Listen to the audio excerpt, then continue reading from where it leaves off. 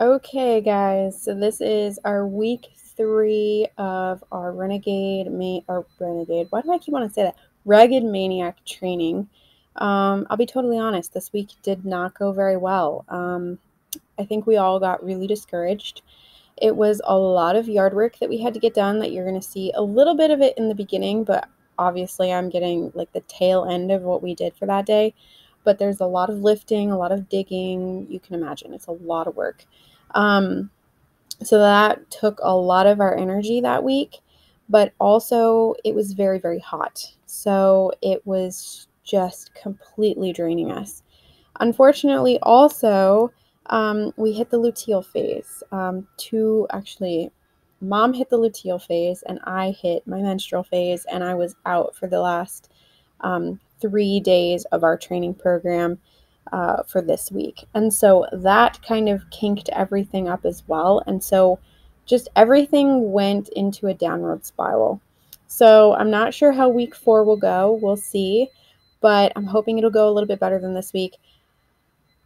But ultimately, you know what? We got some work done. We got strong. We actually did exercise. We just didn't do the training program the way we were supposed to.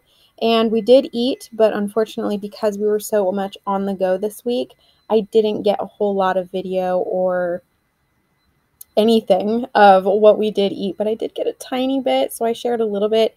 Um, we're still not eating enough fats, and I think that's something that we're going to include in our next week of training because we are sorely missing that.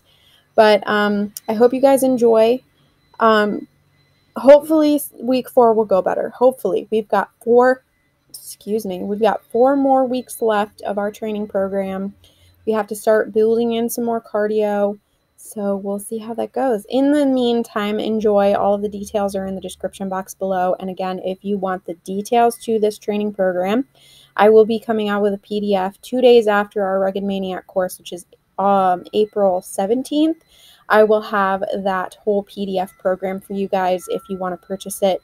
It'll include your nutrition planning as well as your workouts. And hopefully you'll be able to stick to it better than we have, but honestly, we haven't been doing that great. We haven't been doing that badly. So um, we still got some muscle building and we're still working up that cardio. So as long as you're doing something, I say that's a big win.